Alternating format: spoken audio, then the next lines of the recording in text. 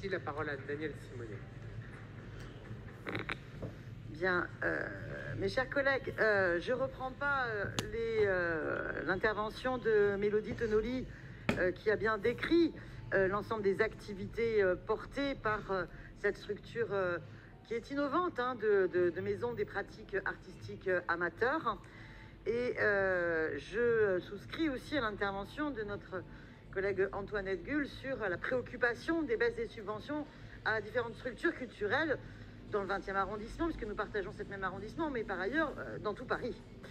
Et euh, cette délibération, elle pose quand même question, parce que elle prévoit une subvention de 2 367 500 euros, alors qu'en 2020, la subvention s'élevait à 2 517 500 euros, soit une baisse de 150 000 euros. C'est très conséquent, une baisse de 150 000 euros, c'est pas rien.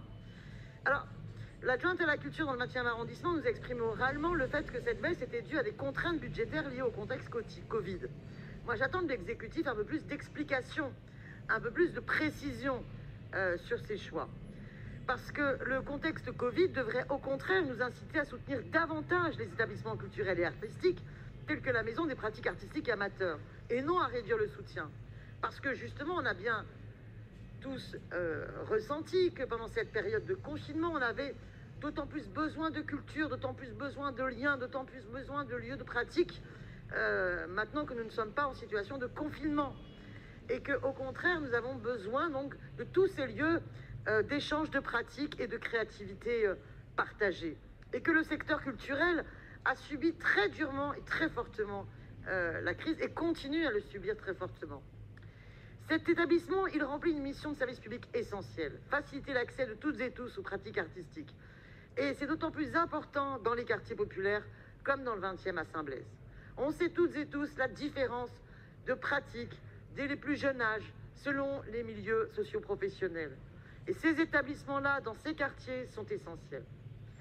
Mais on remarque par ailleurs de manière globale, et pas simplement liée à l'année particulière, euh, ou ces deux années particulières marquées par la crise Covid, on remarque de manière globale une baisse quasi constante du budget de fonctionnement alloué à la culture depuis le début de la précédente mandature.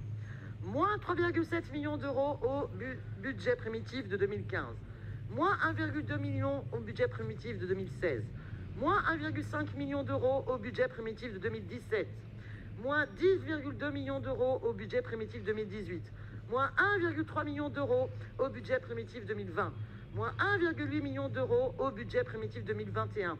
Le seul exercice au sol positif étant le budget primitif 2019 avec une augmentation de 3,8 millions d'euros. Lors du conseil d'arrondissement, il a par ailleurs été annoncé que l'exécutif prévoyait de nouveau une baisse globale du budget de la culture au budget primitif 2022. De combien sera cette baisse? Est-ce bien dans la culture, dans les secteurs de la culture, qu'il faut faire des saignées en ce moment Je ne le pense pas. La ville de Paris devrait être attachée à soutenir les établissements culturels. Oui, ça vous gêne, mes chers collègues? Le terme de saigner vous gêne? Eh bien, excusez-moi, mais des coupes sombres de politique d'austérité, vous allez voir ce que vous allez voir. La logique de l'Union européenne et du gouvernement va être d'en imposer de plus en plus. Il faut donc au contraire résister à ces politiques d'austérité et se dire que dans les secteurs du culturel qui contribuent à l'émancipation de toutes et tous, c'est là où au contraire il faut de manière déterminée refuser ces baisses. Alors, la ville de Paris devrait être attachée à soutenir les établissements culturels au lieu de baisser de manière constante les financements qu'elle leur alloue comme si elle considérait que la culture est non essentielle. À Paris, il est hors de question que l'on considère le secteur culturel comme non essentiel. Maintenant, il y a, et j'entends, une spécificité de la situation de la Maison des pratiques euh, artistiques amateurs. Je remercie euh, Geneviève Garrigos, qui est présidente euh, de, euh, de la MP2A, euh, qui m'a contacté à la suite du dépôt de mon vœu pour me dire qu'il y avait une situation particulière, si j'ai bien compris, et que Geneviève m'en excuse si jamais je, je, je déformais ses propos, mais qu'il y avait une situation particulière qui faisait que, dans le cadre du contexte Covid euh, et, euh, et, du coup de, de, de, des mesures euh, nationales de type chômage partiel et de la baisse d'activité, il y avait finalement une baisse des dépenses. Et que finalement, cette baisse de 150 000 euros n'était pas une baisse qui allait poser problème sur les activités de la Maison des pratiques artistiques amateurs, étant donné que le contexte de l'an passé, parce que je, du fait des raisons que je viens d'évoquer, avait fait qu'il y avait euh, sans doute pas tout le budget consommé sur l'année écoulée. Moi, je demande du coup des précisions ici pour savoir qu'est-ce que je fais de cet amendement. Est-ce que je le maintiens parce que vos explications ne sont pas convaincantes et que du coup, euh, la baisse spécifique sur la MP2A permettra un soutien accru à d'autres structures, et à quel cas je peux l'entendre, et n'oblitérera pas l'activité de la MP2A, ou est-ce que cette baisse va quand même conduire la MP2A à devoir réduire ses activités sans qu'on ait la garantie que l'effort qu'on leur demande soit alloué à un effort à d'autres structures. Donc je demande deux choses, et je termine là-dessus, qu'on me dise si l'AMP2A, du fait de cette baisse, va devoir baisser, son activité et quelles sont les structures qui vont bénéficier de leur effort. Et en fonction de la réponse, je verrai si je maintiens mon amendement. Merci. Merci pour vous répondre, Laurence Patrice. N'importe quoi, Karine Roland.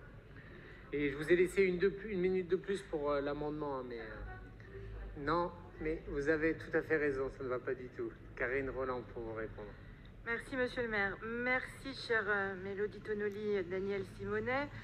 Je vais commencer par répondre à vos questions, madame Simonet. Donc, la MP2A s'est trouvée dans une situation particulière à la fin de l'année 2020 euh, parce qu'un certain nombre de crédits n'avaient pas pu être consommés du fait du confinement.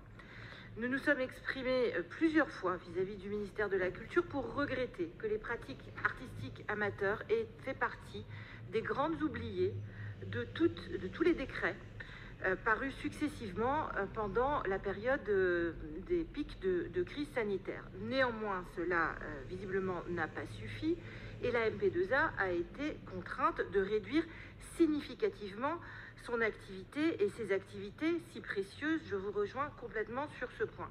De ce fait, elle a mécaniquement généré un excédent dont nous avons considéré qu'il pouvait être utilisé cette année. Et par ailleurs, il se trouve que la MP2A, parce qu'elle est euh, très bien gérée, bénéficie aussi d'un excédent structurel. Donc, pour répondre à votre première question, non, la Maison des pratiques artistiques amateurs ne va pas devoir réduire ni son périmètre ni l'intensité de ses activités du fait de cet ajustement de, euh, la subvention. Et vous pouvez euh, tout à fait en échanger avec euh, Sonia Leplat, dont je crois pouvoir dire qu'elle-même n'a pas été complètement consultée avant le dépôt d'une telle demande de rehausse de la subvention. Je voudrais quand même dire quelques mots de euh, l'activité de la Maison des pratiques artistiques amateurs parce qu'il s'agit effectivement d'un établissement euh, tout à fait euh, remarquable, situé dans tout Paris, à travers cinq sites dans lesquels la MP2A travaille, qui porte à l'année, en année normale, environ 500 projets artistiques qui associent des amateurs et des professionnels qui les accompagnent. Et c'est là tout l'intérêt des projets. Nous les avons vus euh, se produire euh, cet été dans le 20e arrondissement, justement, à l'occasion euh, d'un très beau spectacle intitulé La Fierté, mis en scène par Maël Faucheur. C'était sur un terrain de basket. Et on rejoint là une thématique évoquée ce matin de la rencontre entre sport et culture, parce que c'est ça que fait la MP2A à longueur de journée, de semaines et d'années, de créer des formes, de les mettre à disposition des habitants du 20e et d'ailleurs, je le disais, la MP2A est présente dans cinq sites euh, à Paris. Pour toutes ces raisons, euh, l'activité euh, de, de, l'établissement est extrêmement précieuse et importante. Je tiens juste à rectifier, Madame Gull, il n'y a pas eu de somme allouée à tort en 2020. Il y a eu la génération d'un... Mais je comprends que c'est assez complexe et technique et qu'on puisse mal comprendre. Et deuxième petite correction, il ne s'agit pas d'une tendance ce à quoi nous procédons actuellement, ce sont des ajustements liés à la crise sanitaire et aux, difficultés budgétaires qu'elle génère sur euh, le budget de la ville de Paris. Voilà, j'espère avoir euh, répondu à, vos questions, Madame Simonet. Et pour l'ensemble des raisons évoquées, je donne un avis défavorable à votre amendement si vous étiez amené à le maintenir. Merci beaucoup. L'amendement est-il maintenu? Il est retiré. Merci beaucoup. avec, bien sûr, avec vigilance. Je me vois le projet d'acte 321 qui est pour, qui est contre, qui s'abstient, il est adopté.